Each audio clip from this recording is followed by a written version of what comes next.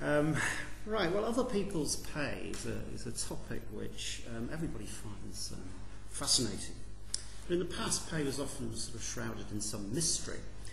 And in recent years, we've, we've tended to shed light on this, often a dangerous thing to do, because when we see what people earn, many people don't like what they see.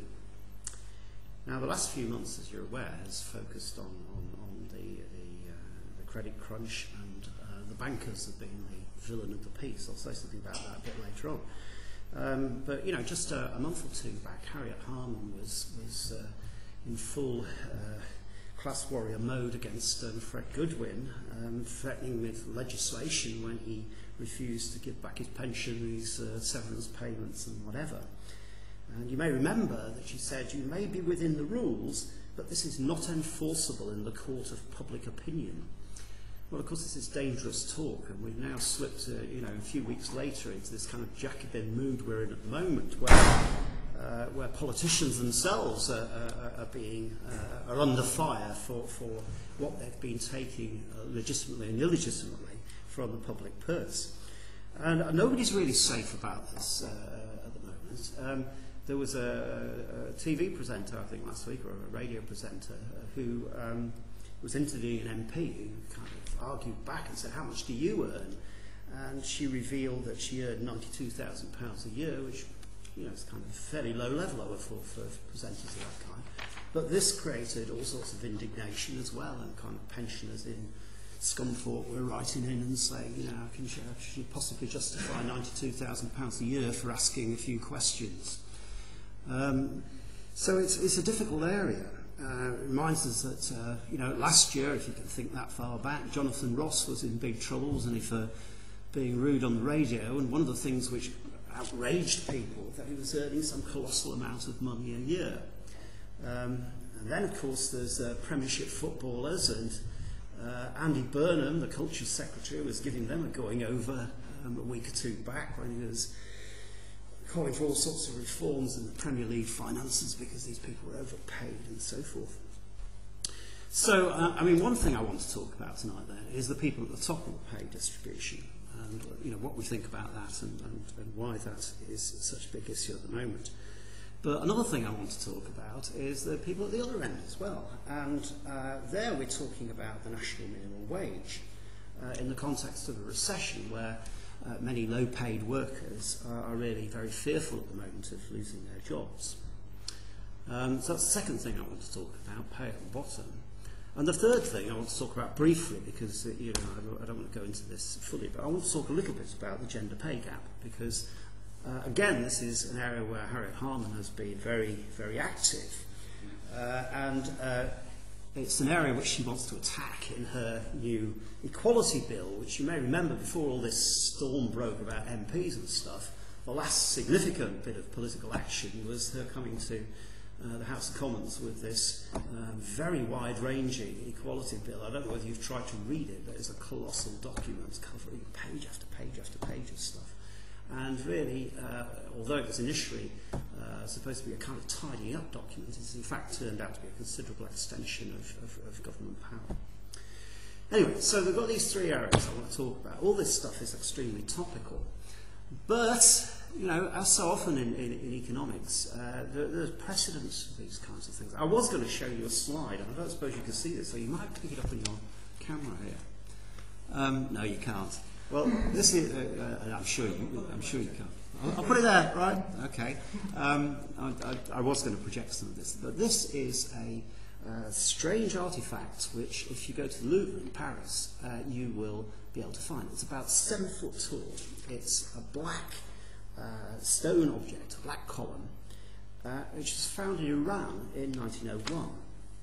And written on it is uh, a long list of laws and regulations called the Code of Hammurabi. And Hammurabi was a Babylonian king from 4000 BC. And what I want to mention him is that he was amongst the first rulers that we know about who tried to lay down what people should be paid. Um, he appears to have been a powerful and ruthless uh, despot who was determined to have his way. And the Code of Hammurabi, which is set out on this stone, uh, is an interesting document, it lays down a total of 282 regulations uh, about everything under the sun, uh, including the first enunciation, even before the Bible, of um, the principle of an eye for an eye. But I mention it in particular because it, it gives precise daily wages for labourers, potters, tailors, rope makers, masons and other people, uh, other, other trades of the time. Um, now obviously time has moved on Uh, looking at some of the miscellaneous provisions of this code, uh, clearly they've been sort of uh, superseded. Um, there's one which I, I, I also like to mention. It says, if a sister of a god, whether that means, I suppose, some sort of religious uh, votary or something, if a sister of a god open a tavern or enter a tavern to drink, then this woman shall be burnt to death. Now, clearly, uh, the, the government at the moment, amongst its other concerns, is concerned about women drinking too much.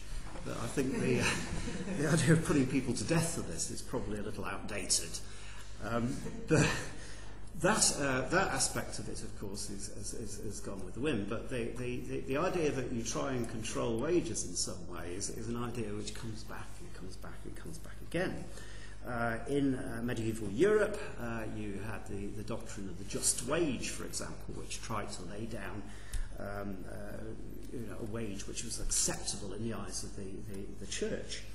And as late as 1891, Pope Leo XIII issued an encyclical spelling out how Catholics ought to resist capitalist greed and support wages based on justice, an idea which has been knocking around for a long time. In the 20th century, of course, it became more secular. It wasn't a, a religious thing anymore.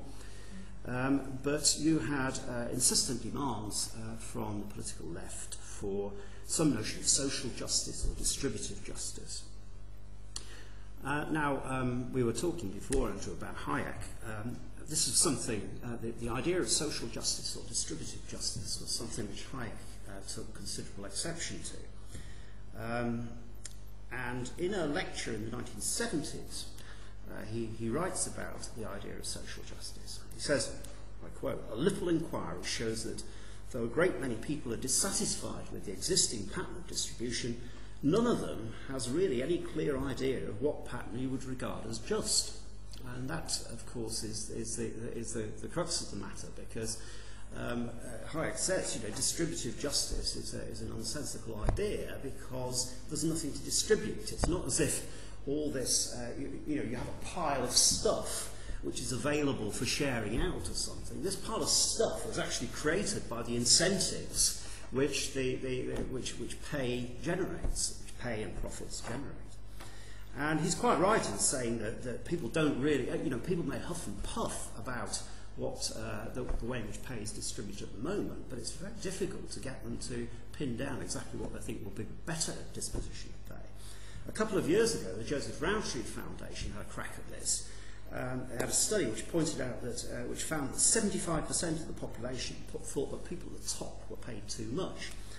But when it came down to it, less than 30% of them thought the government should do anything about it. Um, and the reason for this was that they perceived the difficulties involved in actually trying to lay down uh, a, a pay system. How can we possibly decide in a complex economy of 29 million people working in you know, hundreds and thousands of different types of job, how they should be paid in detail? Uh, it's, it's how would you do it? It's a kind of modern Hammurabi laying down details or whatever, more likely a uh, huge bureaucracy of thousands of civil servants trying to weigh evidence and so forth. Um, now, now you're, you're all quite young in this room. I'm, I'm, I'm getting very old. I do remember the 1960s. There actually was an attempt to do this kind of thing, and it was a complete disaster. Um, under Harold Wilson's government of, of the 1960s, um, uh, there was set up something called a Prices and Incomes Board, which, um, amongst other things, adjudicated on pay claims. Um, the idea which now seems absurd and impractical, um, was taken very seriously by politicians at the time. What it involved was setting a norm for pay increases, which was based on some kind of average or aggregate uh, increase in productivity. And everything else was judged against this. Should you get pay increase above uh, the rate of increase of productivity or below it? And uh, you know, there were civil servants were spending ages and ages trying to work this out. The justification for this in, in, the, uh, in, in the 60s was that this was seen as an anti-inflation device, a way of keeping down inflation, which was becoming a problem at the time.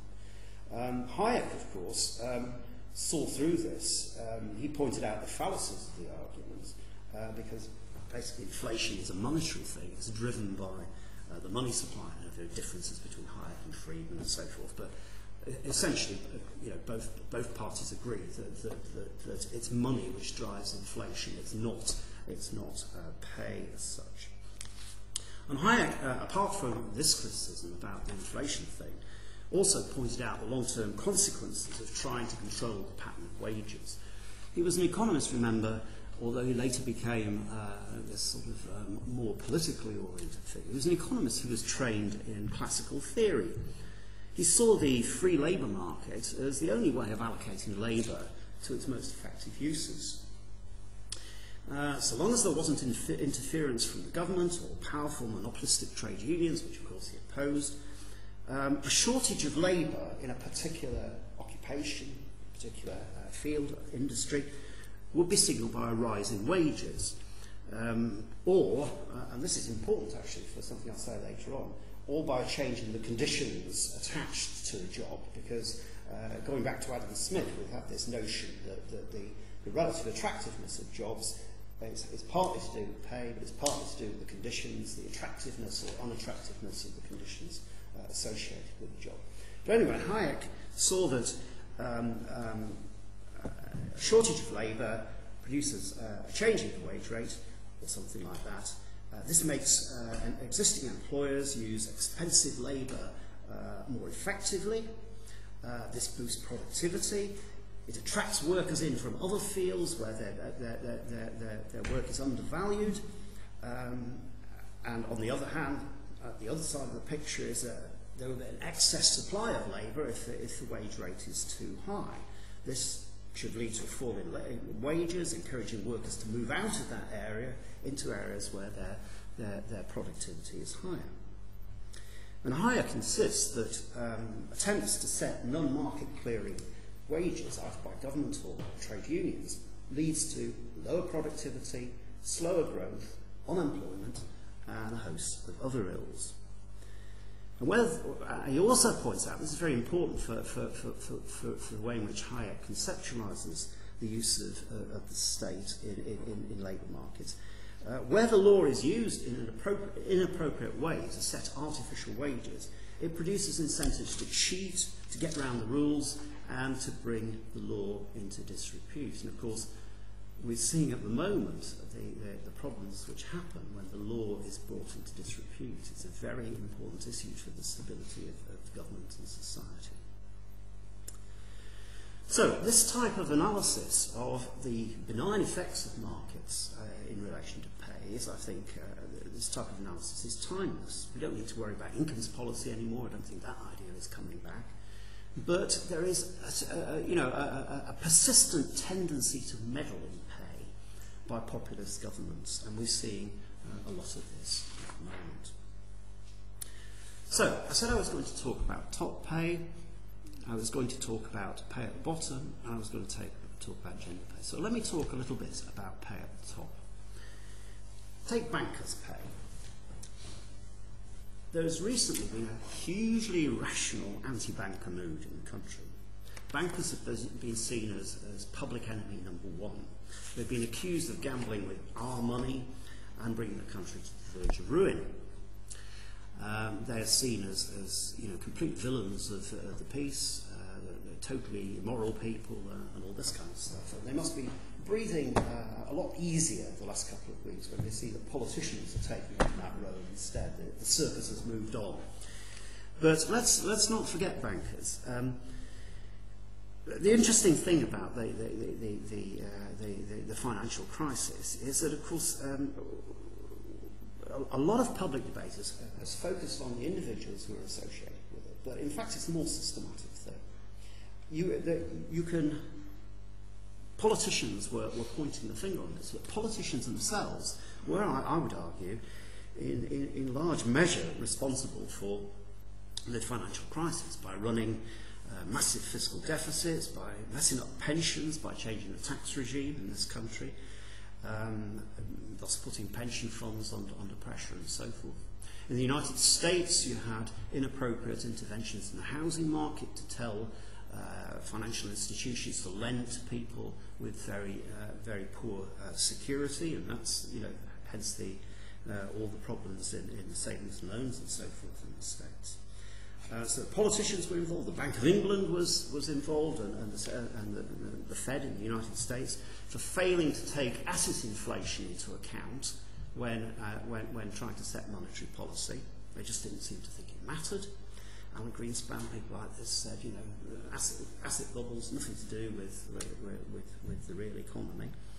Um, so they were, they, they were in the wrong, I think. the, the, the regulators, the financial services, um, people in this country um, produced reams of regulatory documents. I mean, it's been suggested by an estimate by Philip Booth that there's something like one million paragraphs of guidance that, that the FSA generated in the last 10 years.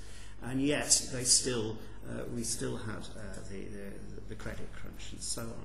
So you've got uh, all these groups involved, you've got uh, financial regulators, you've got banks, you've got politicians, and also in a sense you've also got the general public. And the, th the thing which I, I always point out to people who, who slag off the, the bankers and so forth is I point to uh, the way in which we all overstretched ourselves in the, well, not you lot, but I mean, uh, pe pe people with jobs and so forth overstretched themselves in the mortgage market, Um, they, they sought higher returns on savings through putting, putting money into, into, into higher return funds, which were in fact running risky, risky books and so forth.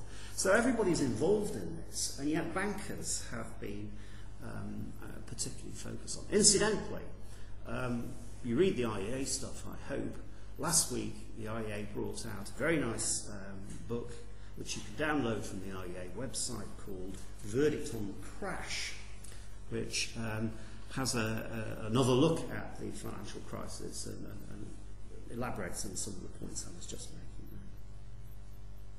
But leaving aside the, the responsibility of bankers for the crisis, which I think has been overstated, um, there was nothing particularly irrational about the way in which bankers were paid, the bonus culture, if you like.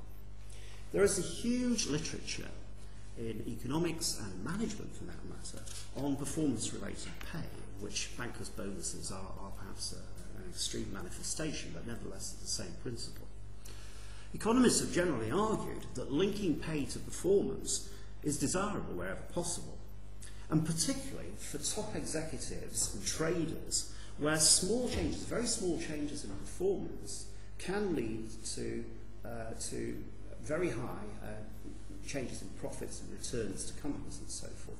And the idea uh, throughout the, the, the, the, the, the 80s and 90s in the literature was that we should be doing more of this, um, we, not, not less of this, as people argue today. Now, people might upset this on a, on a, on a rational basis. They argue that, nevertheless, that allowing people to keep bonuses or to uh, take generous severance packages, the Fred Goodwin kind of stuff, in the current climate is very different. There are arguments, I guess, that where the state has taken responsibility for banks, then they, they, they can impose slightly different conditions and so on. But people generally have a contractual right to compensation, so long as it was freely agreed in advance. And it's not only bankers where failure is rewarded. You may, uh, if, you, if you're a football fan, you may have noticed that um, uh, a couple of months ago, Chelsea published their annual report, which showed that they, showed that they spent £23 million pounds last year in paying off two managers, Jose, Farino and, uh, uh Jose Marino and uh, Avram Grant, and five assistant coaches. 23 million on five people. That's quite a big reward for failure, which is not particularly to do with banks. And, you know, a lot of people say, well, you know, they failed, they should go, they should be sacked. Um, and that's um, an argument which um, people who've never employed anybody um, put very easily, but I can assure you that it is not that easy to get rid of somebody, uh, particularly where, uh, in the case of Fred Goodwin, for example, it was a judgment call which he made. He didn't do anything actually wrong, he just got it wrong in some sense. That's what capitalism is all about. It's about getting it wrong in the hope that out of that somewhere, somewhere somebody will get it right. So what, what I mean, what Fred Goodwin did was to make a wrong judgment call about a takeover of a bank, basically. But he didn't break his contract in any way. And if he had dug his heels in and refused to go, they'd have had to go through a long procedure of, of, of, of dismissing him. He would, it would have dragged through the courts and so forth. And this is not a thing which, which people should undertake lightly. So it's hardly surprising that people were given, uh, you know, that he was paid off. You could argue that he was paid too much, but that's, uh, that's to do with his original contract. Whatever the current situation, we shouldn't look back, we should look forward. And I believe that the government is wrong in attempting to legislate for future behaviour of firms by putting caps on bonuses by conditions, and uh, uh, how they can be paid in shares and what types of shares and so forth. Top executives, top traders, whether they're in the financial sector or elsewhere, face highly demanding jobs. And they won't take them in the United Kingdom unless they can get a return which is commensurate with their commitment to the thing. They're also not going to negotiate one-way contracts, which don't reward them very well for success. This is what the government is saying, is should cap their, their thing. And yet at the same time, um, allow banks to sack them for poor results. If that kind of pay regime is established in this country, then top talent will either go abroad or into private unregulated funds where the government's writ doesn't run. They will get round whatever rules are placed on, on, on, on holding shares for years, for example, and things like that. Because banks who are wishing to hold on to key players will find other ways of rewarding them, whatever the government tries to cap it at. Um, basically, you've got mutual benefits here of the employee and the employer, and they will find a way around as they've always done Right, before I leave uh, top pay, I'd just like to fill you in on one or two, to, to one or two things. Um, I don't know what you know about the pay distribution. If you're not an economist, you probably haven't dug into this, but um, pay is, it is true, more unequally distributed in the UK than in some other countries. But this is often exaggerated in political discussions of this. Um, if you take a measure like the Gini coefficient, which is the most frequently quoted measure in this area. Um, the Gini coefficient for UK is uh, is not very different from a whole bunch of countries, including Italy, New Zealand, Ireland, and so forth. We're a, uh, a uh, less unequal pay distribution than they have in the United States, which is kind of the world champion in this. But we're not that far out of line with most of our, uh, most of our uh, competitor countries. Secondly, there's been a lot of talk about how the pay distribution has widened, that, that it's become more unequal over time in the UK. Well, this is true, but uh, most of that, uh, most of that widening of the pay distribution took place in the 1980s and early 1990s. Um, and the situation has stabilised since then. There's been very little change over the last 15 years or so. The expansion, the, the widening of uh, pay distribution in the 80s and early 90s was associated with a range of factors such as increased globalization, the communications revolution, um, which, for example, widened the market for entertainers of all kinds, including footballers, which is the, the you know the, the whole um, um, um, the, the whole expansion of footballers' pay in the UK has resulted from from sat satellite broadcasting, which is a, a product of the of the, of the 1990s. Without that, um, footballers would be on a much more modest uh, payments. Nowadays, uh, the Premier League in this country is watched by you know, 100 million people in countries all around the world, which was not technically possible. Therefore, the money has come in, and it's a classic case for economists of rent, scarcity payment for top talent, if there's more money coming in, it goes to the top talent. It doesn't go. To, that's why all the football clubs are halfway bankrupt. It all goes to the, the top talent who uh, are the scarce resource in there. So it was things like that. It was, it was increased globalization, the communications revolution, increased competition and deregulation, which opened up markets uh, all over the place, not just in this country, and also to some extent it was the decline of trade union power which, which broke up some of the, the, the, the old uh, the old rigidities in the UK labour market and elsewhere.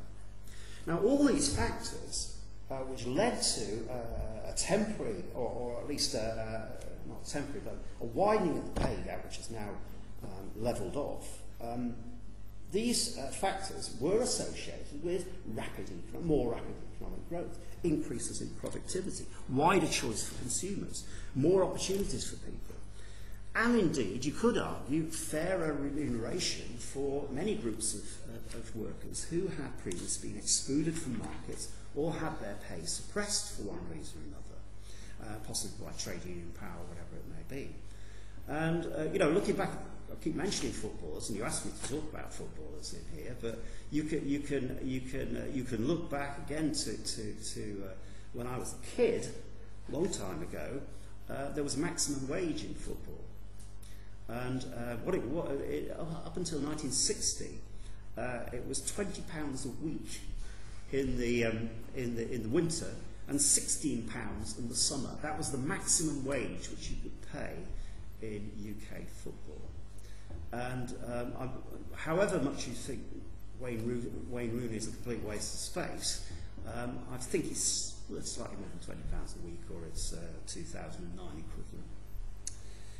Okay, so a, uh, a second thing I'm saying there is that the widening of the pay distribution was as a result of these factors, which were broadly beneficial to, the, to, to everybody in the economy, if you like. Um, the third thing I would say about this widening gap, it was associated with falling unemployment, and it was associated with rising incomes even amongst the lowest 10% of earners in this country. That wasn't the case in the United States for reasons which uh, we could go into on another occasion. But certainly in this country, pay, even for the people at the bottom of the pay distribution, rose during this period. So it, it, it, it, it, it was a period where, where um, everybody benefited in some sense. Anyway, let me, let me now go on, having, having mentioned very briefly there poorer workers, let me now go on to talk uh, about the second thing I wanted to mention, which was um, uh, the national minimum wage. What can we say about the, the, the, the national minimum wage which was introduced by the, by the Labour government? Um, there seems to be a view that the national minimum wage has been a success, as there have not been huge job losses as a consequence. I think we need to think about that a little bit. What a minimum wage does, if it has any meaning at all, if it's an effective minimum is it sets the wage level, which is above that which the market will generate, the equilibrium wage rate, if you like to use economist jargon. And if you set a wage above an equilibrium wage rate, then this will tend to reduce job opportunities and produce unemployment. Um, you could also argue, by the way, that, that, that minimum wage is not particularly effective anti-poverty advice if that's what you're interested in, because uh, many of the people who are picked up in, in, in the national minimum wage are young workers who don't particularly have um, who live in families, who are supported in other ways. And uh, the, the, the people at the bottom of the pile are people who are not in work at all. They're not the people who are, who are uh, on, on, on, on low wages. Anyway, um, the evidence since the introduction of the, the, uh, minimum wage in 1999 is rather ambiguous. There's evidence that demand has indeed been affected in some areas areas, and care homes is one of the areas where, where, where there appears to have been um, a, problem in, in, in terms of job losses as a consequence of introducing the minimum wage. There's also been suggestions that some working conditions have deteriorated. And this is, I think I mentioned just a bit before about whenever we talk about wages, we have to, have to think about the net advantage of jobs in terms of the working conditions as well as the, the, the wage. This is the Adam Smith story.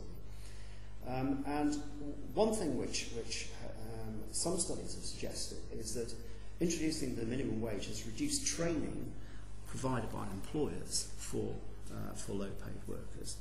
It also led to decline in the quality of accommodation, tied accommodation provided to low-paid workers.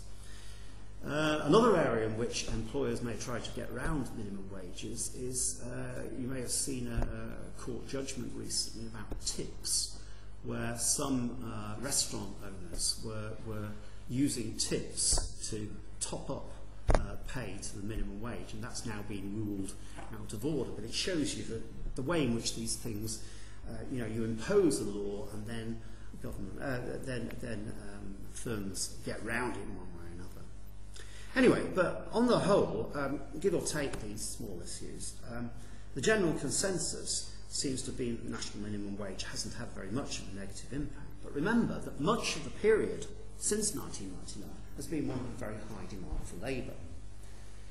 The irrelevance of the national minimum wage doesn't seem likely to persist as the downturn really takes hold. At the moment, uh, we've, we've had the downturn in terms of, of, of uh, output and fall GDP, but we've only really begun to find uh, an increase in unemployment. And the, the, the, the, the history of recessions is that uh, unemployment is a lagging part of the cycle, that unemployment rises after uh, output falls and it recovers after output increases again. So there's a, a kind of lagging thing. Um, and in this kind of situation, you have to ask whether a national minimum wage is a, uh, a really great policy. At the moment, employment is falling three to four times faster in Scotland, Humberside, the North West, than in the country as a whole. And the idea of a national minimum wage set for everybody right across the country becomes particularly under strain uh, in a situation where different parts of the country are experiencing the recession in different ways.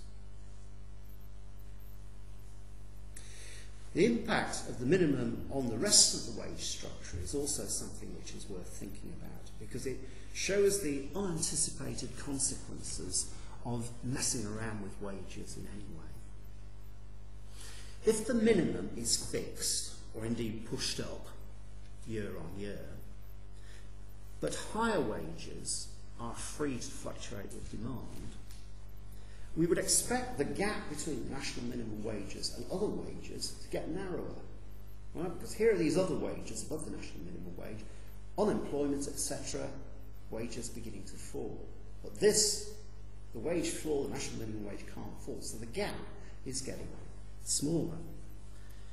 What this means is that the pay of an experienced skilled worker, uh, an exp sorry, an experienced unskilled worker, will fall relative to that of a new entrant on skilled work. This will mean that employers will get much more selective. They will tend to take on older workers rather than younger workers. New workers, new entrants to the labour market become much more unattractive to, uh, to employers. So countries which have high minimum wages find that in periods of recession, youth unemployment shoots through the roof. Right? And that's the danger, I think, which we, we face with the minimum wage at the moment, despite the fact it, it hasn't had cataclysmic consequences during the, the period of the great moderation and all this wonderful period we were going through uh, when, when Gordon Brown had abolished boom and bust, you remember.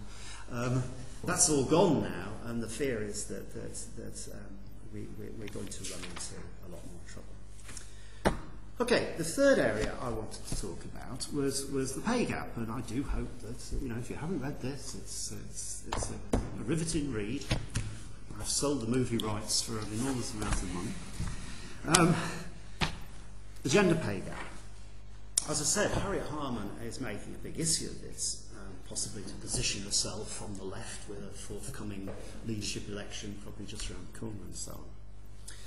Um, the gender pay gap, um, the, the, the, the, internationally quoted measure of this is uh, relates to men and women in full-time work. It relates to hourly earnings. Um, and um, last year, when the figures uh, we have available relate to, uh, men in full-time work uh, are paid 17% more per hour than women. This is the, the gender pay gap. It's not the figure which was quoted by Harriet Harman when introducing the Equality Bill as rather misleading figure she produced. But whatever. Whatever the gap is, it's seen as outrageous. Um, and it's something, you know, I've gone on quite a lot of radio shows and things talking about this. And it's people misunderstand what this figure means. What they think it means is that you and you are doing an identical job, but you're paid 17% more. This isn't the way in which the, uh, the, the, gap arises. Um, men and women are not being paid differently for identical work. They're doing very different jobs. For example, women are 80% of primary school teachers, but they're only about a third of university lecturers. There's 75% of council workers. Women are 75% of council workers, but they're under 3% of firefighters. They're 85% of social workers, but they're less than 25% of police officers. So they're doing very different jobs. And these jobs are paid differently for a variety of supply and demand factors. And this is where the problem lies, because if you want to address this, if you're, if, if you're Harriet Harman and you want to address this, then you've got to find some way of dealing with the fact that men and women are doing different jobs. That, that part of the pay gap, which can be explained by men and women doing identical jobs, is piffling. The bulk of it is due to the job choices which men and women make, which are, which are, which are different, and career moves and so forth. Um, I mean, it's very easy to say, well, Uh, somebody said to me the other day, well, you know, primary school teachers aren't paid as well as university lecturers, but they're much more important than academics because, you know, they, they, they, they're moulding the, the, you know, the, um, our, our future, our children, whatever. And it sounds like a plausible argument to the non-economist or whatever. Um, but of course, it's a, you know, you have to think, well, they, it doesn't work like that. To become a primary school teacher requires um, nowadays probably a degree in some teacher training or, a, or, a, or a, an extended degree.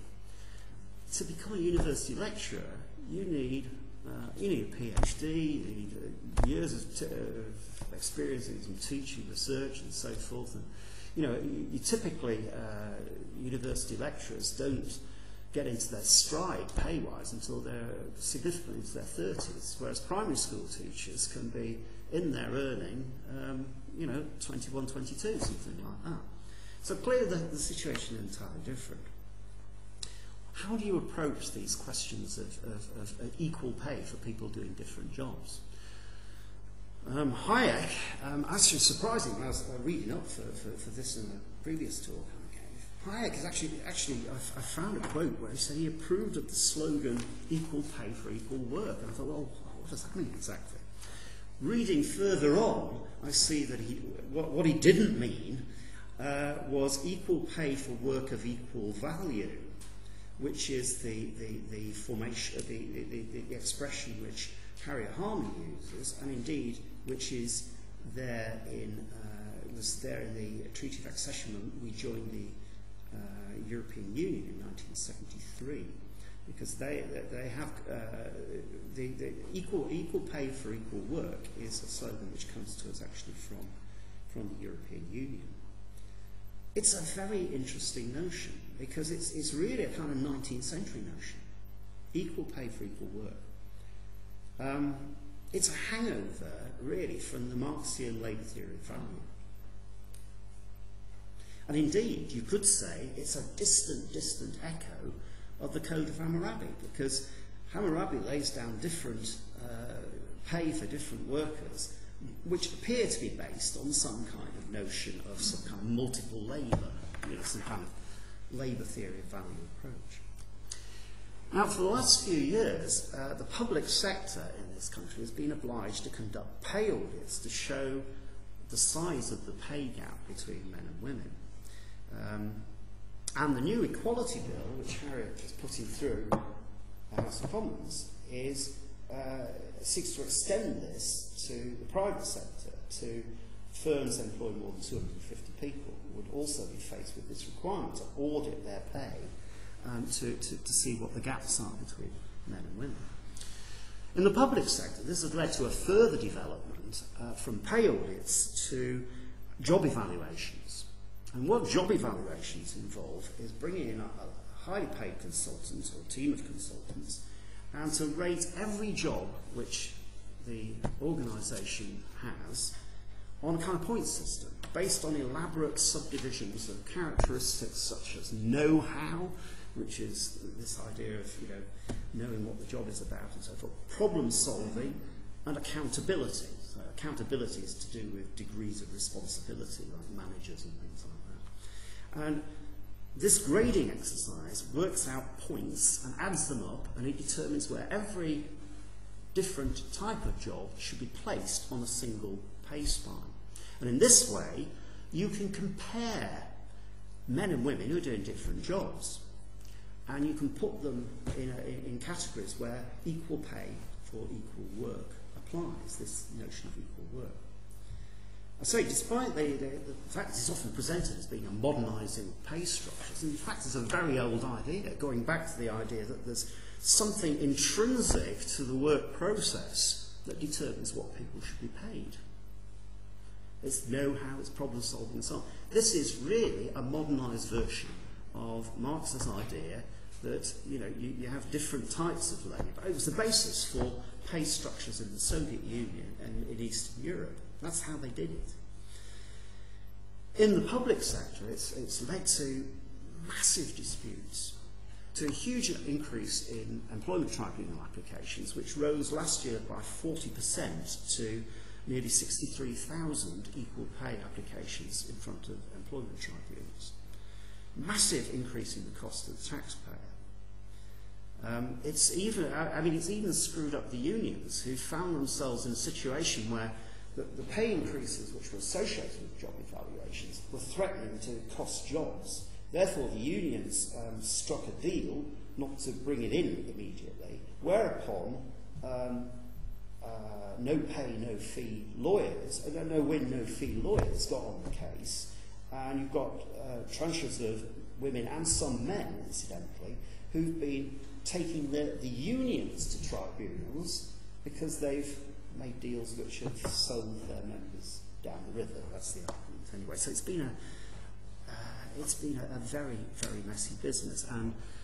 the prospect of extending this to the private sector is something I, I certainly wouldn't advise.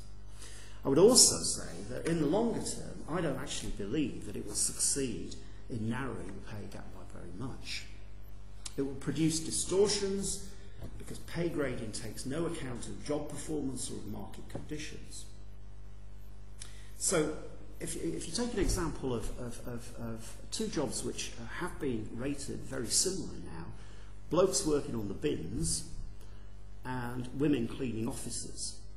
The idea is that they involve the same levels of you know, know-how, problem solving and accountability, therefore they should be paid the same. But what you do when you impose a similar pay scale on there is that um, you get uh, an excess supply of people wanting to be cleaners, which is a nice indoor job, and a shortage of people willing to hot hum bins around in the cold. And so as a consequence, you've got uh, excess supply here, which means unemployment, often, of, of, of, of, of women cleaners, who then have to find less well-paid jobs in the private sector. And uh, you find a shortage of, of guys to lift the bins around. I mean, some women do it, but And so what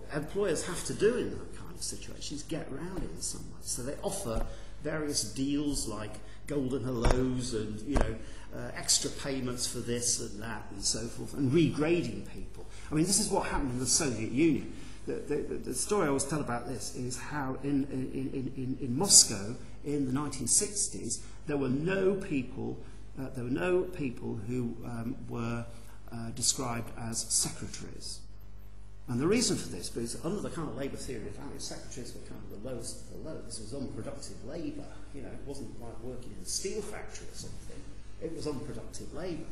So you couldn't, you, you couldn't get secretaries. So what they had to do was describe all the secretaries as office managers or something like that so that they could actually attract enough at the rate of pay which had been set. This, this is the kind of thing which happens when you move away from markets and try to use administrative solutions to it. Okay, that's the system which, uh, which uh, I, fear that uh, where Harriet Harman is leading us if she gets the opportunity to, uh, to do that. Maybe she won't. Okay, well, I'm going to wind up now. Thinking back to uh, what I was talking about at the beginning,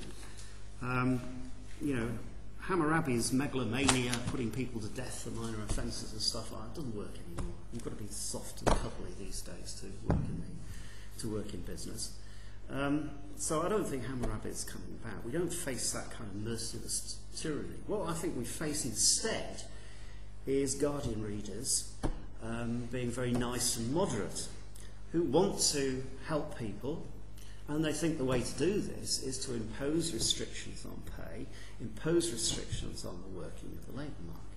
And I think we should resist this. Hayek warned us about Hayek, uh, you know, Hayek, Hayek was not some kind of dreadful class warrior. I mean, he got on very well with Keynes, for example. Very, very friendly with Keynes in some ways. And if you read The Road to Serfdom, you know, it's addressed to socialists of all parties, isn't it? And the idea is that, that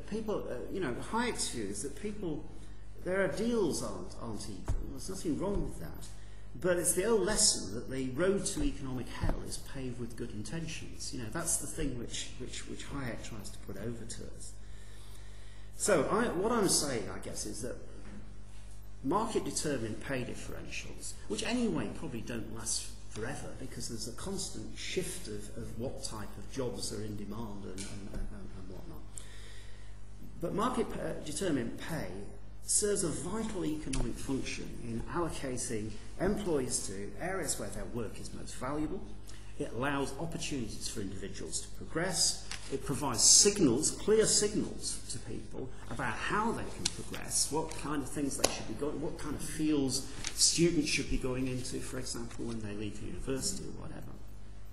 If you don't have these signals, well, in a closed economy, of course, you end up like they did in East Germany, where you get uh, you get a situation where, where, where wages don't adjust. So you actually end up having to allocate people to jobs because they they won't go to areas where the jobs are, are, are not you know where the pay isn't increased. So your first job, if you when you graduated in Eastern Germany, was where you were sent.